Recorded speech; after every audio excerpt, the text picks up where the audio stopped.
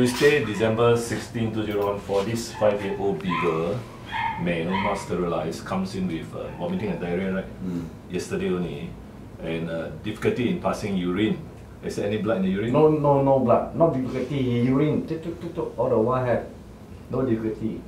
Difficulty means the uh, He- Difficulty he that you can't be told, No, no, what, but he is not. He keep on hand. Keep on urinating. Yeah, but normally it come out one big stream, right? Normal. Yeah. uh, Today also one big stream. huh? Yeah, but there are also multiple small streams. Okay, urinary incontinence, uh, that means Ah. he cannot control the bladder and then uh, the sphincter. So he, he does pass one big lot, right? Yes, yes. It only happened yesterday. So the temperature is normal. So now I have rechecked the gum. The gums are normal color now. I will check the abdomen. So abdominal palpation, you, you want to see how I do? Okay, you see, uh, you see this side? Right. No, no. You Okay. relax. You want back. You want Okay, back. so uh, you will see the reaction of the dog. Now the, the hand like this, uh, abdominal palpation, start from the anterior abdomen, a bit of pain, anterior, then I go further down, posterior, Good boy. Good boy. No more. uh, I can feel a big lump here, uh, there's a Goodbye, bladder, the bladder,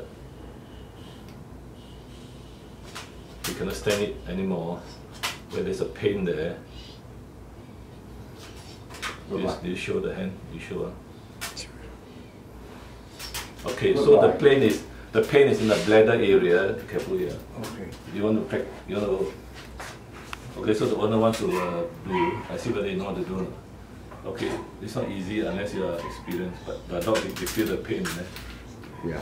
Uh, the pain is abdominal pain. Uh. Mm. So so Yeah, there's yeah. a bit in front and, and more behind. right. Also, you need the X-ray.